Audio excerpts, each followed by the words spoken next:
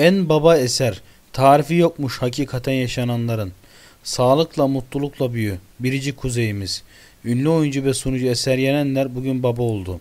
Oğulları Kuzey'i kucaklarına alan Eser Berfu Yenenler çifti güzel haberi Berfu Yenenler'in Instagram paylaşımına duyurmuştu.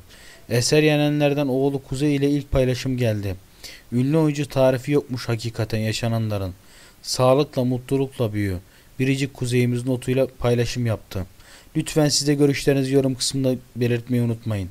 Kanala abone olursanız şimdiden teşekkürler. Gözün aydın. Eser ve Berfu çifti.